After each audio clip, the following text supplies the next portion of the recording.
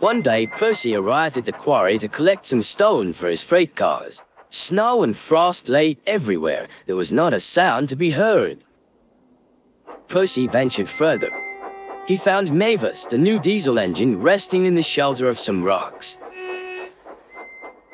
Cheer up, Mavis, he whistled. Mavis was still remembering the trouble she'd had with cars. Manager says I don't listen to advice. He says I've no business jauntering down Toby's line. Toby's a fusspot. Toby has forgotten more about freight cars than you will ever know, replied Percy. You must put the cars where he wants them, then you'll be a really useful engine. Now, if you'll excuse me, I have to take these stones to the harbor. Mavis liked Percy, but she still wouldn't listen to his advice. Why shouldn't I go on Toby's line? The siding arrangements were awkward. To put the cars where Toby wanted them, Mavis had to make several journeys. she started making a plan.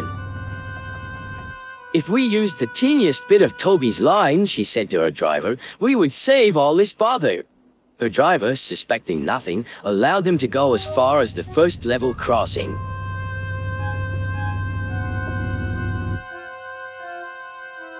A few days later, the weather changed. As the snow melted, the quarry grew busy again. Some trains were so long that before leaving the cars for Toby, Mavis had to go beyond the level crossing with them. Now for her plan. She would go further down the line without it seeming her fault. Can you keep a secret? she asked the freight cars. Yes, yes, yes, they chattered. Will you bump me at the level crossing and tell no one I asked you?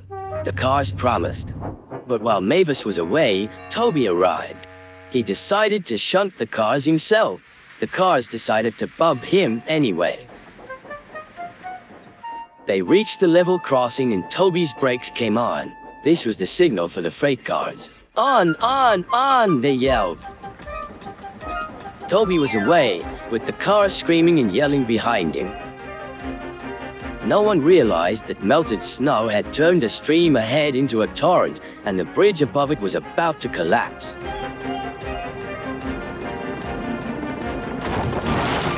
The rails were now like a tightrope across the thundering water. Stop! Stop! cried Toby. His driver fought for control. They came nearer and nearer to the bridge. It was all or nothing now. The driver braked hard.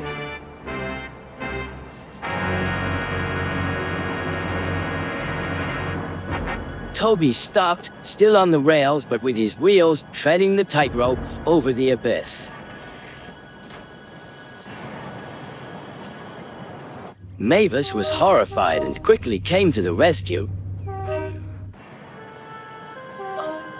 Workmen anchored Toby with ropes while she pulled the freight cars away. Then she helped Toby to safety.